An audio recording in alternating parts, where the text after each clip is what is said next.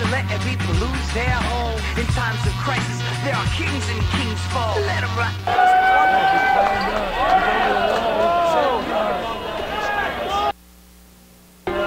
I don't know that our chatters make a difference.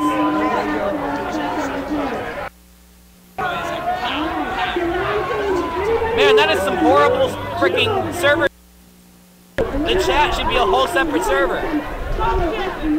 Okay, we're back. Can you hear us? Are you on remote? See us. Audience, calling here. We got a rally going right down here at City Hall Park via police Violently. brutality. Take the streets. We're gonna march some more.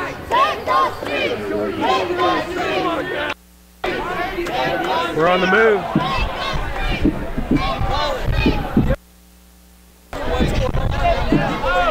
Yeah, so I mean, there's a good 500 people. Um, we just got pushed out of the park. We moved down to City Hall. Sounds like people kind of want to take the streets, maybe march around. I know that the plan, if we get pushed out of this location, was to go to Fifth and Pine at the Bank of America building. Um, it's been quite a night. I took a few lumps. First Amendment took a few lumps, but we're both still standing. We're both still here. So uh, all I can say is, you know, this is the only way to get defended is by citizens standing up for their rights. The, it, the military is not here defending their citizens. What are we gonna do? Stand up for your rights, man. Time to stand up. We have a few hundred people down here, at least. Yeah, they're spread out so far. Um, on know. that note of uh, calling, um, I got knocked down pretty hard, and then when I got back up, I was hit three times in succession. Police stopped hitting me because I was doing what they told me to do. Um, Grab any clubs or resist arrest or, or anything. It was just pure police brutality. I saw a person to a wall. I saw a nose get broken, um, and I actually did grab clubs three not on my behalf, but a police officer was jabbing other people. I kept grabbing his club. That shit sideways. He didn't need to be jabbing people. It's best to it's best to deflect them when they when they stab in the hard way. Yeah, Fucking use some of that ninja shit. and yeah. Deflect. Gotta do, but yeah, I got I got hit a couple of times. That's the, the police like the time. Yeah. Um, yeah. Have you guys heard the uh, the really angry about uh, this wasn't the America he was born in, and uh, how do you sleep at night? What do you tell your kids? Yada yada. Behind Sam earlier, that was definitely me. I was definitely very angry.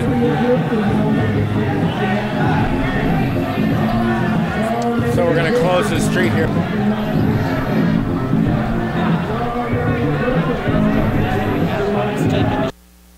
Yeah, we have tons of people down here taking video. We have uh, the media coalitions down there. Mike, who got thrown into the wall head first, who didn't get arrested somehow, so that's super cool. Yeah, Hey there, can you hear me? a lot of the Ustreams are down right now. Um, I'm gonna save mine until Okay. It's all peaceful out down. here now. Uh, uh, KMT It's all peaceful out here at the Clarks now, I. Know, uh, I know Carrie's down here, and she's got a Ustream account. Believe it or not. Uh, but yeah, we uh, once earlier, a lot of batteries were dead, so we can probably use some more streamers down here if you guys can uh, rouse yourselves and get down here.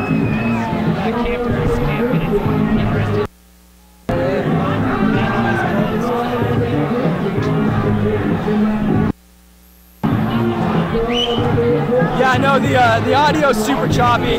It's because of the, the building here. It's just a big, giant chunk of cement video. Plus, the more people we have here using their cell phones, the more we're competing for air. It's nature of the beast.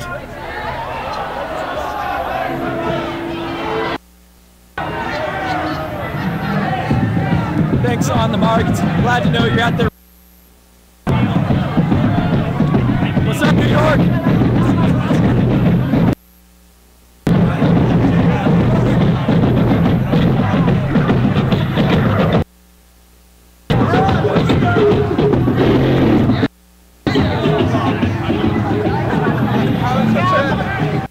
What's up, Vancouver? Coming through.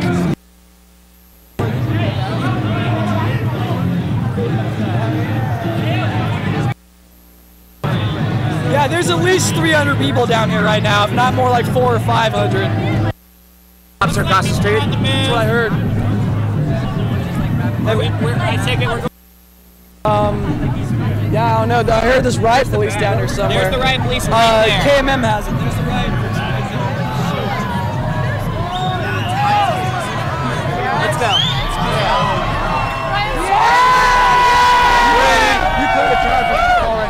Live stream coming through. Live stream coming through. Live stream.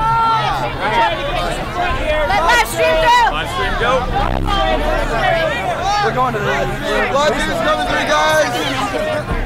Why should we take everybody away from City Hall? This would be the perfect place for them to fuck with us. I was just going to film. That's all I'm doing. Guys with All the right. bike and the fucking music, man. I don't know. I don't know that guy either. Either one of them. No idea. I lost uh, From the KGW HD studios, No, the this news politician's comes gonna fall first. into News this. Channel 8 at 10 starts Whatever. now on Northwest 32 TV. We have the authority to close a park at any time of day.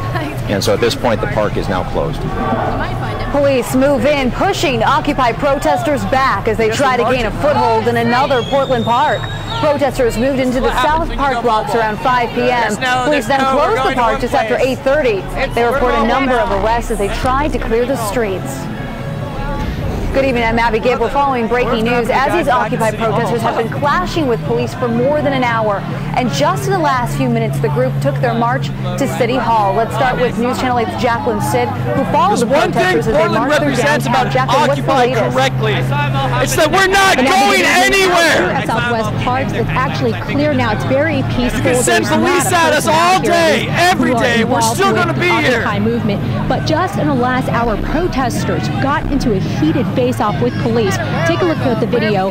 When police arrested several protesters within the last 90 minutes, we saw at least six protesters arrested when they refused to leave South Park blocks. And I- I Some have campers I asked them left, but for those who didn't, police moved in around 8:30, cleared out the park, took down the tents, and told them to move out. Now this actually all started with a very peaceful march in Salmon Street Springs through downtown around 3:30 this morning.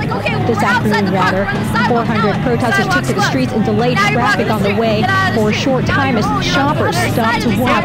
Now, when the protesters got out here to the parks, they set up their tents, had an impromptu concert, and the evening was peaceful for the most part.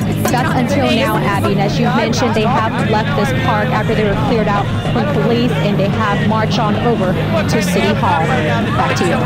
Jacqueline live in downtown Portland for us. Thank you so much. Joining me on the phone now is Portland Police Sergeant Pete Simpson. He's our media information officer. He was one of the first ones on the scene. Thanks for joining us, Sergeant Simpson. Can you hear me? Great. Yes. So let's first off talk about how many people have you arrested? Well, I can't give you an exact number yet. It's been multiple arrests. They're being processed right now. Uh, it looked to be, you know, more than six people from the uh, South Park blocks. Okay, at least six people. When did you first put police in place? We had officers there earlier today uh, when the folks went into the park and set up structures, and along with park rangers from the Parks Bureau, let folks know that they can't set up uh, structures in the parks. They were met with uh, some pretty aggressive verbal resistance from people to the point where they forced our officers and the park rangers out of the park this afternoon. Uh, so then we went to the plan to remove folks from the park and began that operation about 8:35, 8:40 tonight.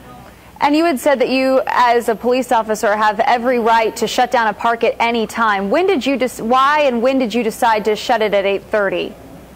Well, the Parks Bureau, along with the Police Bureau, talked about it after the, the incident this afternoon where the folks were forcing uh, us out of the park and, and not making it safe for police officers.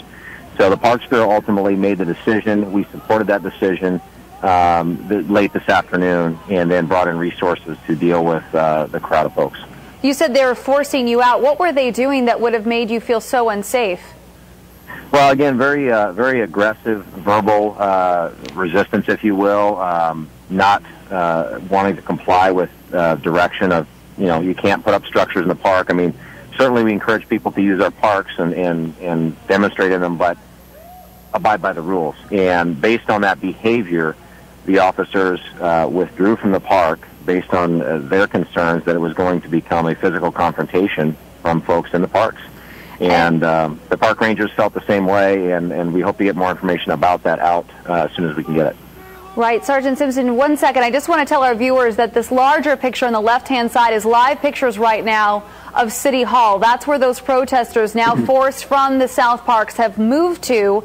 And we can see that one of them has actually gone onto the second story of the City Hall. So, Sergeant Simpson, are you frustrated by these protesters who are continuing to disobey a number of these laws?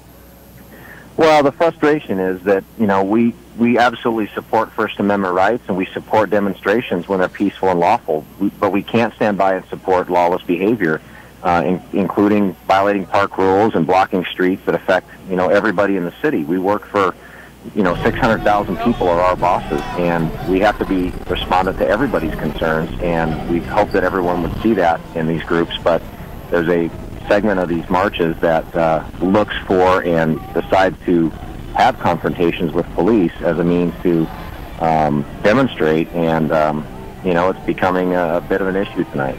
And last question, what happens from here? Are you going to push these people from City Hall? I mean, what's the next step? Well, we will uh, evaluate each uh, situation based on uh, the numbers of people that are there and our resources available. Uh, we'll give clear commands and directions on where people need to go uh, or where they cannot be and hope for compliance. And certainly, uh, uh, we've got a lot of officers out here right now, and we are following marchers around downtown, and uh, it's hard to say what this is going to play out to look like. Okay, Sergeant Pete Simpson, our media information officer, thanks for joining us this evening. Stay safe. Bet. And just in the last half hour, the group took their march to City Hall, like we said. News Channel 8's Catherine Cook followed them there. She joins us live. Catherine, what's the mood like right now out there? Want me to come back up? Well, Abby, the mood is pretty festive. In fact, just a few minutes ago, we saw two demonstrators Hey, you want me to come back up? all the way up to the top. And if you believe this, they actually managed to shimmy What up do you there need? with a tent. Christmas tree. You can see all the Hey, yo, that motherfucker's going to One of the guys actually climbed down and around him to catch him. As you can see, there's still a giant up there right now. And uh, at the height, we had about 200 protesters, and um, we had about 200 protesters out here at its height. But now they've started to to head home. Sounds like uh, they're calling it a night, except for these guys. They plan to stay here all night. I'll be back to you. Catherine, please stay safe out there. We appreciate you covering it for us. Thank you. And let's remind you of the milestones of Occupy Portland. It began nearly two months ago on October 6th. October 31st, filmmaker and activist Michael Moore brought national attention to the group by addressing Occupy Portland. Then November 10th, Portland Mayor Sam Adams issues an eviction notice with three days later, police clearing out the parks and installing fences around them. And stay with News Channel 8 for continuing coverage of tonight's Occupy events. Of course, we're going to have much more tonight, News Channel 8 11. And if more happens, we'll break in later on in the show. And new 10 at 10 tonight, Vancouver police are on the lookout for three home.